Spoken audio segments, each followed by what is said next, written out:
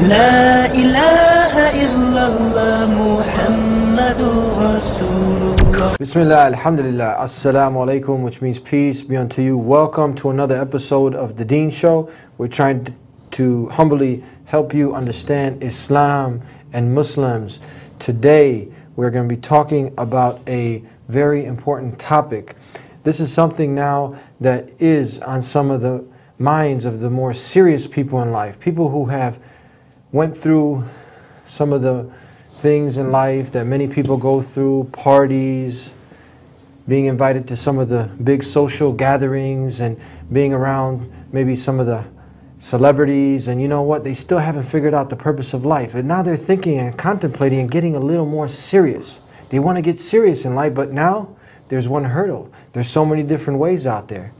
You got Tom Cruise calling you to Scientology. You got these people calling you to Christianity and Buddhism and this ism and that ism. How do you know which is the correct way, the religion, the way of life, the system that God Almighty wants you to live? We're going to be talking about that when we come back here on the Deen Show. You don't go nowhere.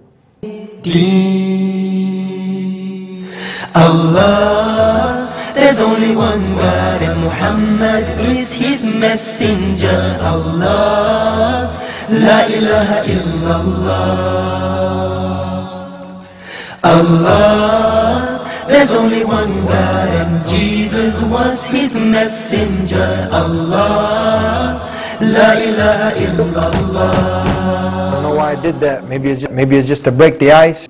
Assalamu alaikum. Alaikum salam wa How you doing, brother? Very good, very good. You heard me introduce it. Yes. And I introduced you in another show, so we're not going to waste a lot of time there. You are from the Bayyinah Institute. You know the Arabic? That's the original language that the Quran was revealed in. You know how to speak it? I'm a student of it, yes. Assalamu alaikum. Wa alaikum salam. Okay, you know some Arabic. We're good. Okay, look, we're breaking a little bit of the ice, but this is serious. The guy's been to all the clubs, he's had all the girls, but he sees there's something missing, there's a void. Mm-hmm. She's been hustled and she's made a little money and she's sick of being used and abused and all this stuff, and people are ready to get serious. Yeah. You know what? But there's a lot of things out there, a lot of confusion for some people. How do they find out what is, they're smart enough to know, look, that there is a creator. But how is it that there's so many different ways and which is the correct one? Talk to us. Hmm. First, let's walk through the thought process of someone who comes to the right conclusions. they already recognize that this world was not created without a purpose. Mm-hmm. That, you know, the intricate creation of even ourselves, down to our very fingertips, is something very profound and amazing. So it couldn't be that this has been designed without, a, without a, an agenda, No a way. cause, a purpose. No way. They acknowledge that there's a creator who designed this in such perfection. Mm-hmm. And any decent human being, one characteristic of decency is gratitude. Mm-hmm. When somebody does you a favor, it's human decency that you want to thank them. It would be very indecent and inappropriate of you that you had a flat tire, somebody came and helped you out, and you just turned the other way and walked away or, or drove off. That's just rude. It's just it's not appropriate. It's Yeah. not it's not common decency. Not at all. And human beings have a sense of common decency across religions and culture. Absolutely, yeah. So when you realize there's a creator, you realize that he's created you in such a powerful way, and he's given you abilities that he hasn't given other creatures. Yeah. And he's given you, um, you know, uh, all of these faculties, not just your physical faculties, which are amazing enough. Like none of us paid for our eyes, and none of us, you know, bought our hands anywhere. They were just given to us. And there are so many others that don't have these things. So you, you, one acknowledges, first of all, that these things were given to him or her without them having to pay for them. And then on top of that, their sustenance, water, the air they breathe, the, the, the family they enjoy, the house, whatever they may have, mm-hmm. is just they've been poured upon from every direction with all sorts of favors, none of which they had to pay for. It was just kind of handed down to them. So the very least d- decent person will, in some way in their mind, they want to be grateful. So even you'll find the people that aren't very religious, if they win the championship, you know, they'll say, "I thank God." Yeah. Right? There's some sense of decency, right? But in, in addition, there's also a sense of appreciation. In addition to praise, Yeah. or, uh, or rather gratitude, there's praise and appreciation. Meaning he didn't just help us, he helped us in such a profound way. And his creation and his creative power is so incredible. Just the vastness of this universe, if you ever ponder over that. Just look at the sky one day and just look at its flawless end to end. uh, that in itself would make you in awe of the creative power of this one creator. We're not even going to name him yet. Uh-huh. We acknowledge then that this creator who made me, who has a purpose, well, who, who's the, the best person or the best individual or entity rather that can tell me my purpose? Think about this. If I made this cup, Yeah. well, I made it for a purpose. The, the, the manufacturer of something manufactures something for a reason. You make a car so it drives. You build a house to live in, right? So when human beings construct something, design something, then there's a purpose in mind for which they're designed. So when you acknowledge there's a creator and he created me and he created me quite well with this profound intellect that he gave me and all these faculties and abilities, then what purpose do I have? Where am I going to find my purpose? Well, you go back to the manufacturer. You go back to the creator to find your purpose. You can't figure it out yourself. You have to ask him because he's the one who designed you. So you acknowledge that you are actually you are uh, this Lord that's over you, the one who's been providing for you and sustaining you and taking care of you, just like he's the Lord of everyone else. He's the only one that can dictate your purpose. But you also come to another really powerful conclusion that up until now in your life, maybe you're 20, 25 years old. For 25 years in your life, you didn't live up to your purpose because you didn't even know what it was, right? So you've been in violation of your purpose. Now let's take a step back. If you have, you know, if I own a computer and it doesn't do what I want it to do, right? It crashes. Mm-hmm. I can chuck it out. I can throw it away. I own it. I bought it for a purpose. It didn't fit that purpose, so I got rid of it. Back in the old days, some farmer gets a cow, right? A cow stops giving milk. He got it for the purpose of milk. It stops giving milk. What does he do? Slaughters the cow. Yeah. But you come to the conclusion that you were created for a purpose. You, there's a Lord over you who expects that you live up to your purpose. But for these 25, 20, 19, 18, whatever years of your life, you've been violating that purpose because you didn't even know there was a purpose. You didn't even acknowledge it. But did He punish you for it?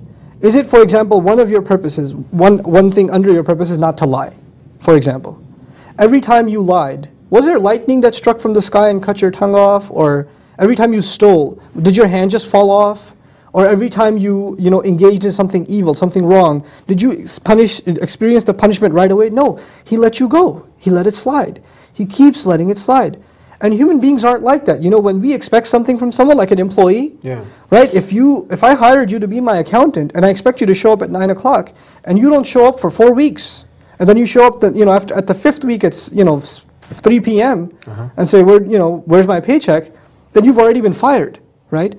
So you acknowledge you've been in violation, and this Lord of yours is far more merciful than anyone else you've ever experienced. His mercy is unimaginable. His mercy is unimaginable. But then you also realize, as unimaginable as His mercy is, if I've come to this conclusion that I don't know my purpose, or I haven't sought out my purpose, and I've been getting away with it all this time, is it okay if I should just forget about this purpose and continue to not think about this anymore and move on? But or if I if I've reached if I've come this far in my thought, then I should realize that he knows that I've come to this conclusion. He knows that I realized I should be looking for my purpose. So if I stop my search here and say, ah, I'm thinking too deep, better go back to the life of partying, then there will be consequences. I will have to pay for everything that I did. Mm-hmm. So once this you reach this thought process up to here, and what's the next step? You turn to this creator, this mysterious creator that you don't yet know, and you declare one thing to him. I acknowledge that you're my creator. I acknowledge that I'm supposed to be in service to you. Whatever I do in this life is supposed to live up to your purpose that you set for me, but I cannot fulfill that purpose on my own because I don't know where to start. You need guidance. I, I, don't need, I don't have anything. So even if I want to serve you, how am I going to do so unless you help me? yeah. Unless you help me. So, so far you're with me in the thought process. Gotcha. First there was appreciation. Then there was his amazing mercy that he let you slide so far. Then there was the idea that there's going to be consequence, so you better get your act together. Mm-hmm. Then there's the idea that you ask him, you, you, I'm going to worship you. I want to turn to you. I want to give myself up to you. We need direction But I now. need your help. We need direction. We need direction. So now, when you ask Him for direction, you ask Him for guidance. Mm-hmm. You ask Him for the way, the clear, straight way that to go to live your life. But you also come to another conclusion. If in fact He is as merciful, if, and if, if in fact this is the truth, then you can't be the only one. This must have happened before you. There must have been people before that asked for this guidance uh-huh. sincerely. And there must be people before that were given this guidance, Yeah. right? So you ask him, instead of being left out in the, on your own, you ask him to show you a path that other people have already walked. Uh-huh. People have already got, and that he favored upon, right? And then there must be other people who asked for that path. now, listen to this carefully. They asked for that path, they got the path. It's like me asking you for directions. You gave me directions, but I didn't follow those directions, right? I didn't follow those directions. You, that's such a person who asks for the favor, gets the favor, and then disregards the favor, is someone who the Creator must be very angry with. You know, there's a person who didn't even get the favor. But there's a person who got the favor and then disregarded it, uh-huh. saw the truth and then put it aside. This person is worthy of the Lord's wrath. And then finally, there's a person who asked, who asked for the favor, got that favor, received that favor, but then mixed his own thoughts and desires into that favor. Mm. God gave him guidance, He gave him the truth, He gave him clarity, but he didn't like everything that he heard.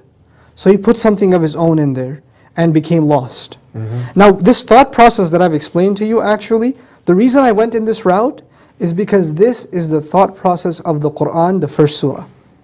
The first surah of the Quran is actually the thought process of someone seeking the truth. Uh-huh. We say Alhamdulillahi Rabbil Alameen, the first thing. Yeah. Praise and gratitude belong to Allah, the Lord of all the peoples of the worlds. Yeah. All the worlds, okay? So we talked about praise and gratitude. Mm-hmm. Then we say Ar-Rahman Ar-Rahim, the unimaginably, exceedingly merciful, constantly merciful. Uh-huh. So this was the mercy part. But then we say Maliki Yawmiddin, the master of the day of judgment. There's going to be consequence if I, if I try to take advantage of his mercy. Yeah. Then we talked about you reaching the conclusion you want to worship him. Mm-hmm. Iyaka na'budu, we worship only you. But we can't worship him ourselves, we, have, we need help. So iyaka nasta'inu, we seek your help. We seek your help. What help specifically do we seek? Guide us. So what's the next ayah? Ihdina sirat al-mustaqim, guide us to and along the straight path. Then we said, this path must not be us alone. There are people that have gone down this road before. So we asked to find the road of those who have succeeded before us, the path of those who you favored, not those who earned your wrath, not those who went astray. Mm-hmm. Right? So this thought process is what we are asking people to consider. It's universal. I didn't take you to the Quran first. I showed you the logic of that path first, right? Yeah. Once you understand this path, nothing I have said is directly saying accept Islam. Mm-hmm.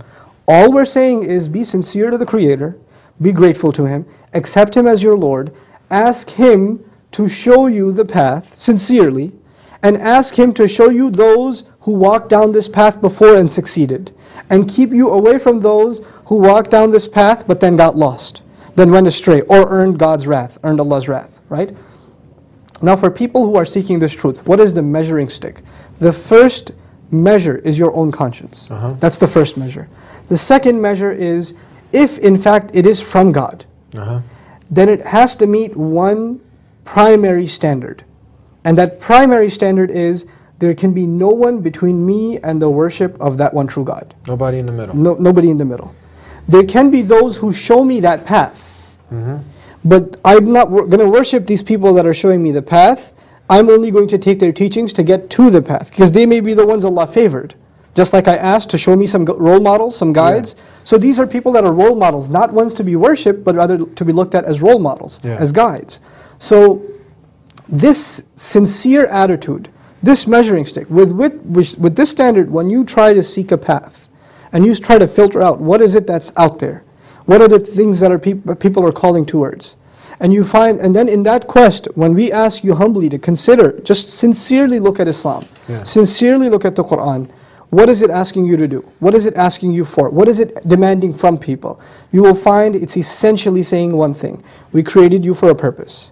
Right? And Allah says, وَمَا خَلَقْتُ الْجَنَّ وَالْإِنسَ إِلَّا يَعْبُدُونَ إِلَّا لِيَعْبُدُونَ We didn't create jinn or human beings except that they should worship me. What's the we here? When you say we, so people are. Well, actually, thinking of- th- in that specific ayah, it's I. Yeah. Actually, خَلَقْتُ I, I didn't create. But uh, in the Quran, we is used as a royal we.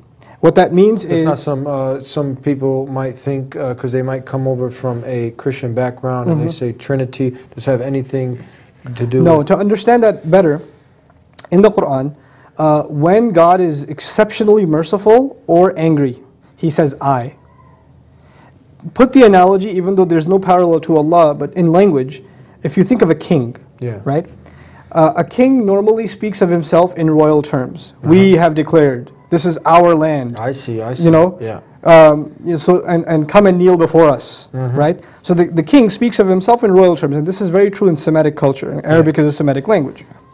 But when the king is exceptionally angry, like some guy comes up to him and talks to him in a disrespectful way, you dare speak to me like this? He goes from we to what? Me, right? So the, the singular I is used in the Quran in cases of anger Yeah. And also in cases of mercy. Uh-huh. But in, in, in when, whenever Allah is talking about His royalty, His majesty, His kingship, His dominion, His provision, these grand things, then you will find the word we. So it's not in the literal sense, it's in the sense of royalty. And the other proof that it's not literally we is that the Quran uses the word He for God. Yeah. Huwa, He. But there's no mention of they. You see, I and we is first person, right? But He is third person. So if this was truly plural, we would find plural in the third person too. Okay, so this is the one God, not the three in one God, absolutely one God who created all of us. And this is the God that we need to ask for guidance, as you were saying. Absolutely. How do we get people to see the urgency of this? Some people say, you know what, I'll wait until I, Ah, you know, I'm question. 40, 50, when I get a little gray hair. I still got some time. I want to chase the girls. I want to, you know, look good for the boys. I want to hang out. Is this a good thing Mm. that people are doing? Delaying? We'll be right back. You have to pray as if everything depends on Allah, and it does. But you must work as if everything depends on you, and it doesn't. That's my point. You see what I'm saying? And I don't like that. I don't like us sitting here. What are you waiting for? What are we waiting for right now? What are we waiting for all these people to come to Islam? What are we waiting for? What are we waiting for right now? When they're gonna come? They're gonna come. Allah gonna bring these people. Allah subhanahu wa ta'ala put in our hand the ability to do it. Now do your job.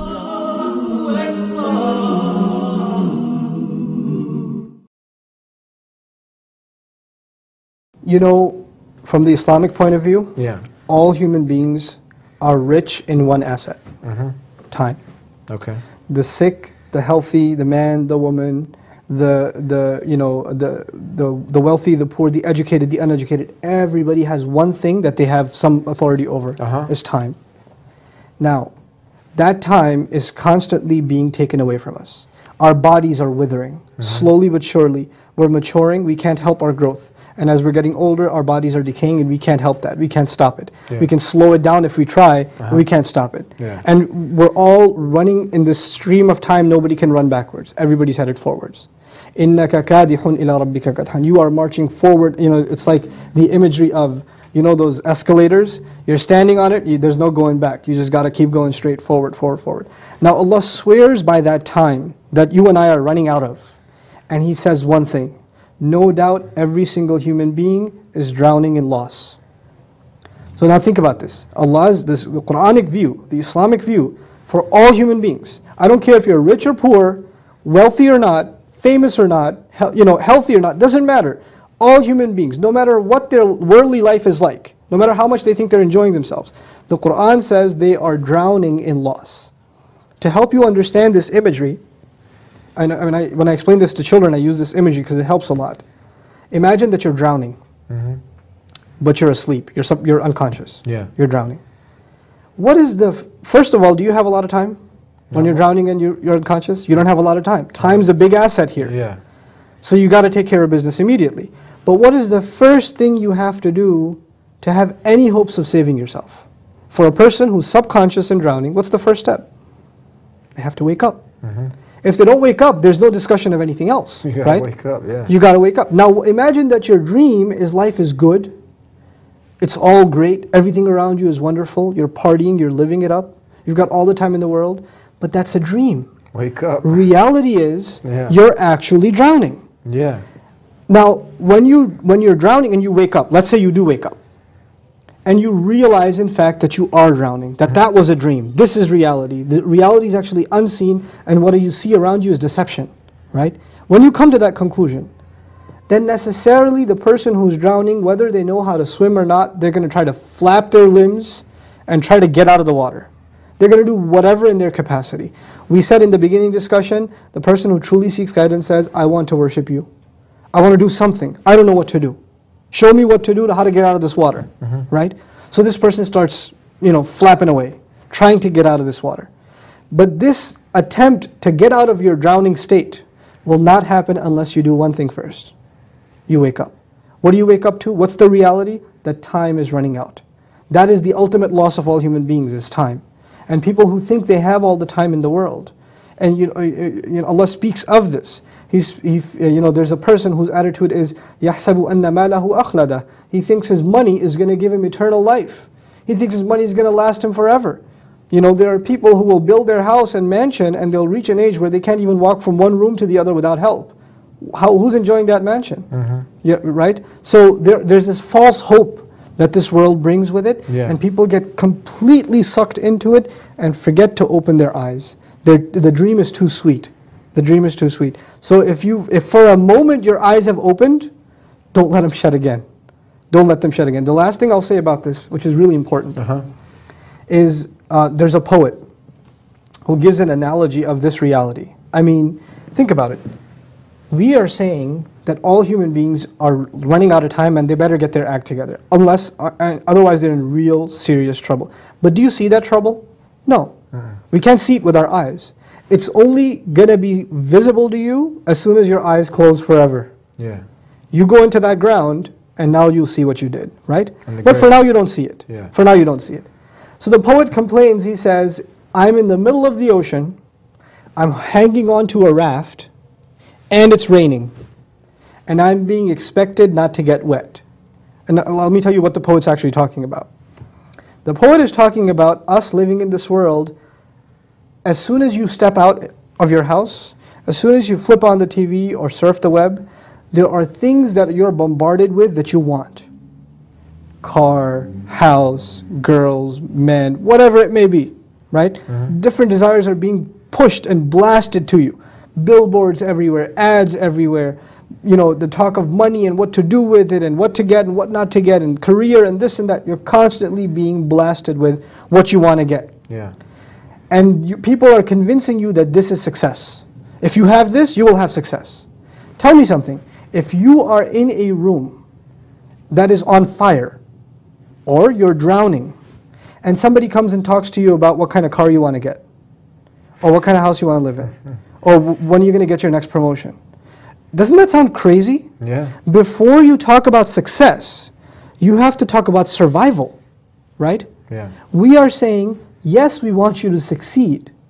But before the discussion of success even becomes relevant, you have to make sure you're doing what? Surviving. That's the Quran's picture. And what, I, what the imagery I just shared with you is actually from Surah Al-Asr. You know, uh, Allah swears by time, all human beings are drowning in loss, except those who believe. Believing is like waking up Yeah.